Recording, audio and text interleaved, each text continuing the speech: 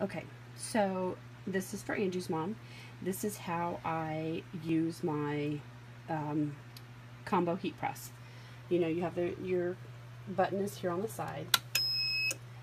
And when it first comes on, it's going to have your outlet, which means it's going up to a desired temperature. And then you have your time, which is set here. When you first get it, you're going to want to set it to centigrade or Fahrenheit. And the way that you do that is you press and hold your set button until it takes you to the next menu. The next menu should pop up and it should have the C and the F at the top and this is what you are going to change. Down for centigrade, up for Fahrenheit. Once you get it set to the one you want to use, press and hold the set button again until it takes you out of this menu. Now when you want to set it so it doesn't beep the whole time, and you want to have your, your time and your temperature set, you just press and hit your set button. Sorry, my husband is snoring in the background.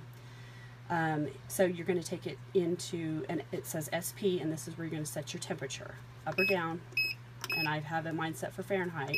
I usually press at 320 um, for, well, set, I have mine set for 320 because I use a lot of the, um, the heat transfer vinyl. I have it all here in my IKEA holder, and then the rest of it's in a drawer.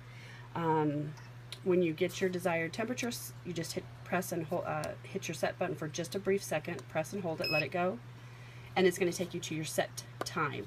And you can go up or down. I usually do 15, anywhere between 13 and 15 seconds. I've not had anything burn, other than, of course, hands, uh, fingers accidentally. Um, but I usually leave it at 15, so you just press and uh, hit your set button again until you feel it go, just depress and let it go, and it's going to start counting up to your timer uh, to your desired temperature. Your timer will sit there.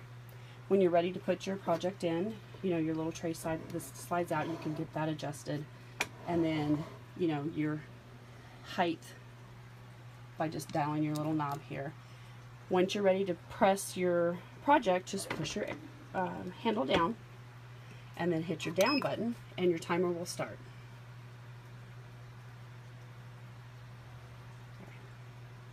When it gets down to zero, it's going to beep.